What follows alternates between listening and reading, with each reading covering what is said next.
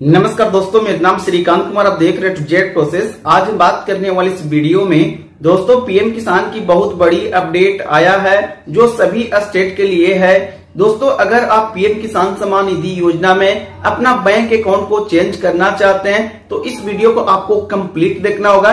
इस वीडियो पूरी डिटेल्स में आपको स्टेप बाय स्टेप करके बतलाने वाला हूँ। कि पीएम किसान सम्मान निधि योजना में बैंक अकाउंट को हम किस प्रकार से चेंज कर सकते हैं? तो दोस्तों, अगर आप चेंज करना चाहते हैं तो इस वीडियो को लास्ट तक आपको देखना होगा। तो चलिए दोस्तों, वीडियो को शुरू करने से पहले मेरे चैनल पे नए तो मेरे चैनल को सब्सक्राइब कर लीजिए बेलाइकन घंटी को प्रेस कर लीजिए, ताकि मेरे वीडियो को नोटिफिकेशन सबसे पहले आपके पास पहुँच पाए। तो चलिए दोस्तों, वीडियो को शुरू करते हैं।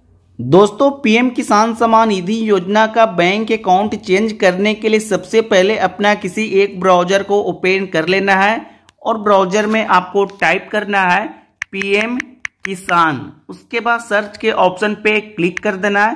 क्लिक करने के बाद दोस्तों सबसे ऊपर में जो लिंक दिख रहा है पीएम किसान, इस लिंक पे आपको क्लिक कर देना है। क्लिक करने के बाद दोस्तों पीएम किसान सम्मान निधि योजना का ऑफिशियल वेबसाइट इस प्रकार से यहाँ पे ओपन हो जाता है। दोस्तों सबसे पहले हम चेक करते हैं पीएम किसान सम्मान निधि योजना का स्टेटस कि कौन सी बैंक में हमें पैसा मिल रहा है या नहीं मिल रहा है तो चलिए सबसे पहले हम स्टेटस को चेक करते हैं। दोस्तों स्टेटस चेक करने के लिए सबसे पहले इस प्रकार से नीचे आना है। और दोस्तों, एक ऑप्शन आपको देखने के लिए मिल जाएगा बेनिफिशरी स्टेटस इस वाले ऑप्शन पे क्लिक कर देना है। क्लिक करने के बाद दोस्तों, सबसे पहले आपको क्या करना होगा? आधार नंबर को सिलेक्ट रहने देना है। इस बॉक्स में अपना आधार नंबर को टाइप कर देना है। उसके बाद गेट डाटा के ऑप्शन पे क्लिक कर देना है। दोस्तों, इस प्रकार से पीएम किसान सम्मान निधि योजना का स्टेटस ओपन हो गया है। और दोस्तों, यहाँ पे सबसे पहले आपको देखने के लिए मिल रहा है अकाउंट नंबर तो दोस्तों, यहाँ पे देखिए, लिखा हुआ एन ए यानी अकाउंट नंबर जो भी आपने दिए थे, उस नंबर को यहाँ से हटा दिया गया डिलीट कर दिया गया है।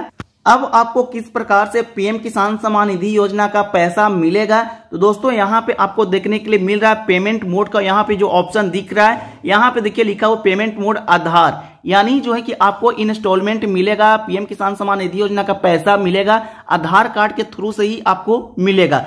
तो कैसे आपको मिलेगा? तो दोस्तों, यहाँ पे आप सही तरीके से समझ लीजिए। दोस्तों, यहाँ पे आपको मिलेगा जो आपका आधार कार्ड के साथ जो भी बैंक लिंक होगा।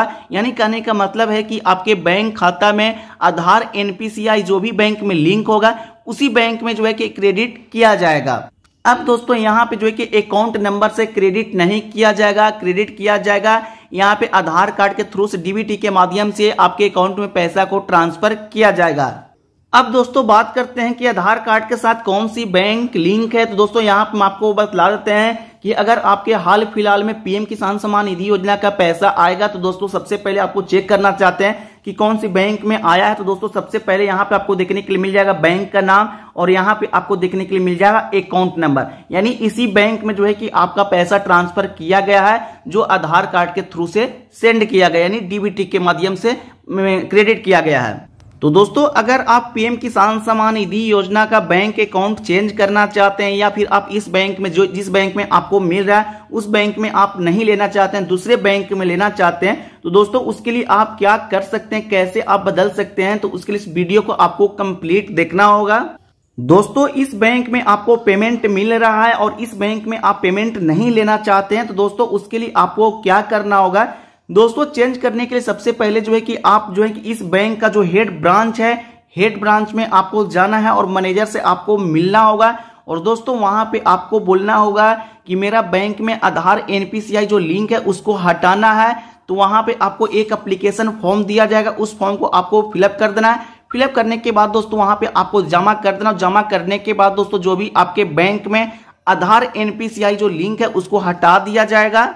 फिर दोस्तों, जो बैंक को आपको लिंक करना चाहते हैं, जो आप बैंक को पीएम किसान सम्मान निधि योजना में जोड़ना चाहते हैं, उस बैंक में जो हेड ब्रांच है, उस ब्रांच में आपको जाना होगा और फिर आपको मैनेजर से मिलना होगा और मैनेजर से आपको बोलना होगा कि हमें जो है कि बैंक खाता में आधार एनपीसीआई लिंक करना होगा। तो वहाँ पे दोस्तों, आपको एक फॉर्म दिया जाएगा, उस फॉर्म को फिलअप करके आपको वहाँ पे जमा कर देना। जमा करने के बाद दोस्तों आपके बैंक में जो है कि आधार एनपीसीआई लिंक हो जाएगा। और दोस्तों, जैसे आपका आधार कार्ड, जैसे आपका बैंक में आधार एनपीसीआई लिंक होता है, वैसे दोस्तों यहाँ पे जो है कि ऑटोमेटिक आपका बैंक अकाउंट ऐड हो जाएगा। दोस्तों, यहाँ हम आपको बतलाते हैं कि यहाँ जो पैसा पीएम किसान सम्मान निधि योजना का जो पैसा है डीबीटी के माध्यम यानी आधार के कार्ड के थ्रू से ही यहाँ पे पैसा को पेमेंट यानी क्रेडिट किया जाएगा। दोस्तों, पीएम किसान सम्मान निधि योजना का पैसा ट्रांसफ़र करते समय दोस्तों, यहाँ पे चेक किया जाएगा कि इस आधार कार्ड में कौन सी बैंक लिंक है और जो भी बैंक लिंक होगा, उसी बैंक में जो है कि क्रेडिट किया जाएगा पीएम किसान सम्मान निधि योजना का पैसा।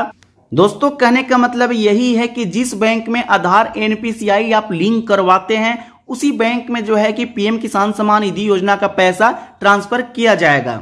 तो कहने का मतलब यही दोस्तों कि पीएम किसान सम्मान निधि योजना का जिस बैंक में आप लेना चाहते हैं, उस बैंक में सबसे पहले आपको आधार एनपीसीआई को लिंक करवाना होगा। उसके बाद दोस्तों ऑटोमेटिक पैसा जो है कि पीएम किसान सम्मान निधि योजना का जो पैसा है, उसी बैंक में सीधे ट्रांसफ़र किया जाएगा। तो दोस्तों पीएम किसान सम्मान निधि योजना का बैंक अकाउंट चेंज करने का यही प्रोसेस है। तो दोस्तों अगर आपको वीडियो पसंद आए तो वीडियो को एक लाइक कर दीजिएगा। मेरे चैनल पर नए तो मेरे चैनल को सब्सक्राइब कर लीजिए बेलाइकन घंटी को भी प्रेस कर लीजिएगा।